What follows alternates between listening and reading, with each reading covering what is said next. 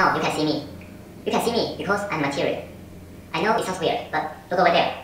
You can see nothing. I'm not darkening your eyesight. I can't see anything either, but the thing you can't see doesn't mean that it doesn't exist. That's our introduction to the dark matter. Fritz Zwicky is an astronomer who focuses on cluster of galaxies. Originally, he studied commerce in Switzerland, but then he turns into physics and math. In 1933, he calculates the mass of the Coma star cluster. Through his way of calculating the mass by detecting the luminosity of the stars, he gets much less than he expected. That's why he proposed the existence of the dark matter, which you cannot see, but still over there and has its own mass. However, the idea of dark matter wasn't accepted by the people at that time. The only problem is, you cannot detect the dark matter. In astronomy, he contributes much more than the dark matter. In 1935, he pioneered the first use of Schmidt telescope on mountain observations.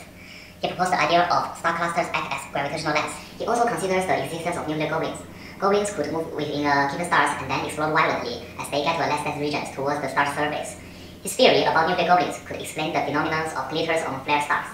We all know that the end life of a massive star is become a supernova. Bingo! Zwicky invents the word now supernova. Back to 1934, Zwicky proposed, mark the transition from an ordinary star to a neutron star. He says that supernova is only a transition stage of an ordinary star's transit into a neutron star. And he also proposed that a supernova can be used as a candle to measure the distance of the deep field in universe. He found 122 supernovas in his entire life, which creates a record in astronomy.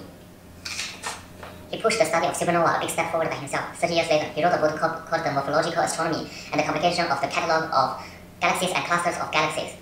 His work really helps other astronomers to discover and study on galaxies, stars, and supernovas, which do a great contribution to astronomy. After all, his life can be concluded as, the darkness in front of you is not blackness. The lightness you see is not whiteness. Now you can see me, not only because I'm material.